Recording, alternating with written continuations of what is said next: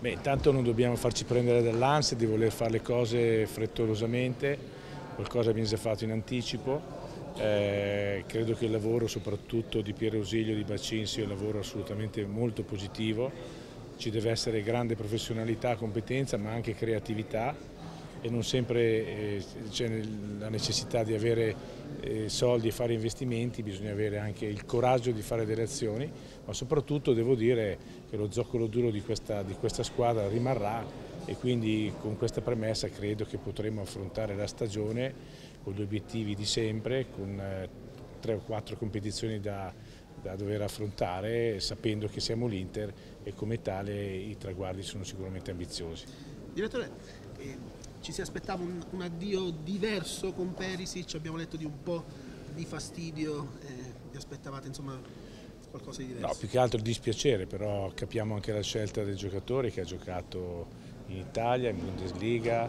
ha voluto anche provare l'esperienza in Premier League e quindi quando si ha una certa età è giusto che eh, il singolo calciatore decida il proprio destino, noi non potevamo fare offerte migliorative rispetto a quello che abbiamo fatto, ma soprattutto al di là dell'aspetto meramente economico credo che la scelta, come ho detto, eh, si sia basata su un futuro diverso rispetto a quello attuale, per cui massimo rispetto per l'atleta, grande ringraziamento, ma non abbiamo paura e sicuramente troveremo il giusto sostituto, avendo già in casa un elemento come Gosens che eh, gode della nostra stima, della nostra fiducia e che sicuramente non farà ripiangere. Grazie. Bene.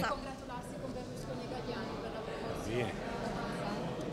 Sono molto contento ecco, che il Monza sia finalmente non tornato ma arrivato in Serie A, nel paradiso che compete eh, io sono stato direttore del Monza, quindi so qual è l'amore della Brianza, so qual è lo sforzo anche fatto da Gagliani e Berlusconi, quindi sicuramente è un grande ringraziamento che, si, che bisogna fare a questi due grandi dirigenti. La speranza è che veramente il Monza possa avere un ruolo importante nello scenario della Serie A. Ci vuole tanto tempo a raccontarmi, ma fu una trattativa anche difficile con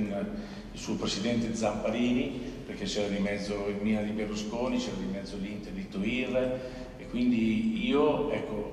utilizzando quello che ritengo sia una caratteristica di un manager come di tutti, il coraggio, il coraggio di dire ad Andrea Agnelli per battere il Milan e, e, e l'Inter dobbiamo spendere di più, perché se poi il giocatore è bravo sicuramente il prezzo sarà giusto, se è scarso dare un milione in più, un milione in meno non cambia nulla. E quindi lì ci siamo, mi ricordo che eh, Zamparini mi telefonò dicendo guarda che abbiamo chiamato Berlusconi stamattina, vieni qua, lui aveva, il suo quartiere generale vicino a Gallarate, Malpensa, io vengo da Torino, quindi sono arrivato immediatamente e abbiamo concluso questa operazione che sicuramente non mi ha fatto dormire la notte, però sia i consigli di Andrea, sia il fatto che comunque Di Bala stava già a Palermo dimostrando il suo valore, eh, ne hanno fatto sì che, che sia diventata un'operazione assolutamente vantaggiosa per noi all'evento.